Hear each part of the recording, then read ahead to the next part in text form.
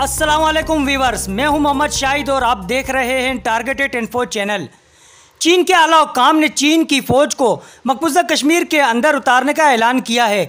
आपको बता दें कि चीनी आला काम का ये मानना है कि हमारा इखलाकी फ़र्ज़ बनता है कि पाकिस्तान की मदद करें। इसके अलावा चाइना ने नब्बे हज़ार का इलाका क्लेम कर लिया है। अड़तीस हज़ार गुलवान घाटी, अड़तीस हज़ार एक्साई चीन और बाकी लद्दाख के कुछ बॉर्डरी का इलाका क्लेम किया है।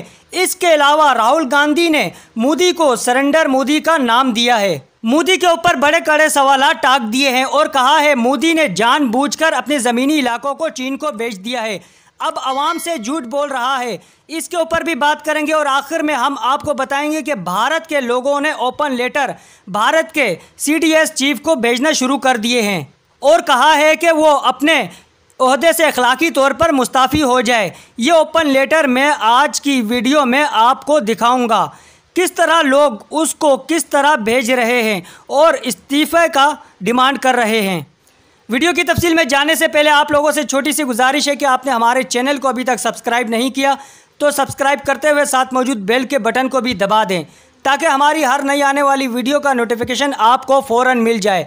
और नीचे कमेंट बॉक्स में पाकिस्तान जिंदाबाद पाक आर्मी जिंदाबाद और पाक चीन दोस्ती जिंदाबाद का नारा ज़रूर कमेंट कीजिएगा। तो सबसे पहले बात करते हैं चाइना के आला काम की जानब से।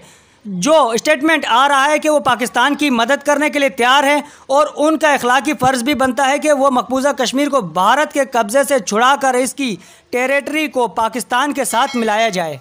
आपको बता दें कि तकरीबन 20 से पच्चीस हज़ार फौजियों की तादाद का एक दस्ता बनाया जा रहा है। उनको कश्मीर के अंदर दाखिल करवाने वाले हैं। आपको बता दें कि ये कश्मीर के अंदर दौलत बेग, ओल्डी रोड से भी जाएँगे, पाकिस्तान के इलाकों से भी जाएँगे और मुख्तलिफ़ जगहों से भी जहाँ जहाँ चाइना के कब्ज़ा है, वहाँ वहाँ से जाएँगे। सियाचिन के रास्ते से भी, कश्मीर के अंदर जाएँगे, लद्दाख के रास्ते से भी जाएँगे। अब भारत की मौत सामने आ चुकी है। भारत ची को पुकार कर रहा है कि अमेरिका इसराइल जापान, ऑस्ट्रेलिया जैसे बड़े मुल्क भारत की मदद करें, लेकिन कोई शख्स, कोई मुल्क इसकी मदद नहीं कर रहा। हैरानगी वाली बात यह है कि भारत ने चाइना के अंदर मुख्तलिफ़ तरीक़ों से बगावत करवाने की कोशिश करवा रहा है। वहाँ पर जितने भी फ्रीडम फाइटर्स हैं, उनको पैसे, हथियार और तिब्बत के अंदर कुछ ऐसे लोग मौजूद हैं जिनको भारत के अंदर बुलवा कर इनको पैसे दिए जा रहे हैं। लक्जरी घर दिए जा रहे हैं ताकि वो तिब्बत के अंदर बगावत करवाए और किसी तरीके से चाइना हमारी जान छोड़कर यहाँ से निकल जाए। चाइना के ग्लोबल टाइम्स ने दो बड़ी बातें की हैं और भारतीयों को दो बड़ी बातें कहकर ये कहा है कि भारत मत समझे कि वो चाइना के साथ लड़ाई कर सकता है। ना ही हथियारों के मामले में चाइना से आगे है, निकल सकता है, ना ही भारत हमें शिकस्त दे सकता है। ग्लोबल टाइम्स के एक एडिटर्स ने यह रिपोर्ट पब्लिश की है कि भारत इस वजह से भी बड़ा परेशान है। दूसरी जानब मोदी को सरेंडर मोदी का नाम भी दिया जा रहा है। राहुल गांधी ने कुछ ऐसे सवाल किए हैं कि मोदी और इसके हवारी, इसके गवर्नमेंट वाले सब अपने बिलों में छुप गए हैं। राहुल गांधी का ये कहना था कि हमें बताया जाए कि हमारे फौजी कितने मारे गए हैं।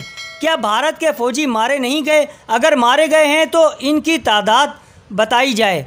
हमारे फौजियों को मरवाने वाले चीनी फौजी के साथ और कौन कौन से फौजी मौजूद थे?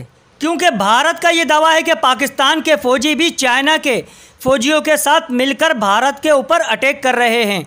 दूसरे नंबर पर मोदी को जो बड़े कड़े सवाल का सामना करना पड़ रहा है, वो ये है कि अब तक चाइना ने भारत के कितने इलाके पर कब्ज़ा कर लिया है? राहुल गांधी ने यह कहा है कि मोदी ने जानबूझकर चाइना के सामने सरेंडर करके अपनी सरजमीन, अपनी 60 किलोमीटर धरती भारत का हिस्सा चाइना के हाथ में दे दिया है। इसका भारत को, भारत की गवर्नमेंट को जवाब देना पड़ेगा।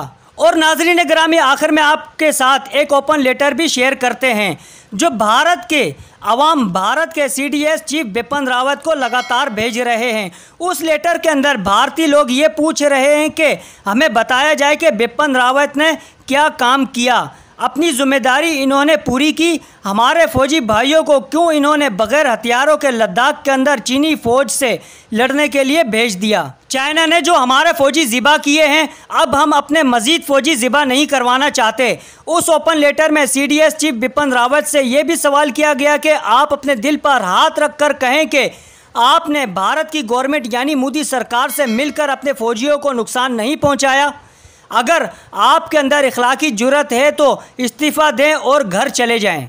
क्योंकि भारत की आवाम अब अपने फौजियों को चीनियों के हाथों मजीद ज़िबा होते नहीं देख सकती। ये लेटर आप अपनी स्क्रीन पर देख सकते हैं।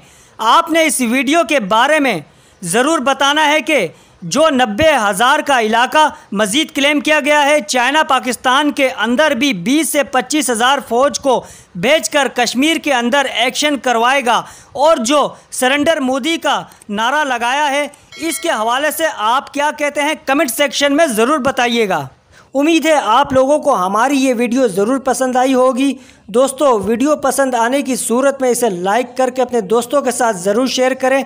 फिर मिलेंगे दोस्तों अपनी अगली नई वीडियो के साथ। तब तक के लिए अल्लाह हाफिज़।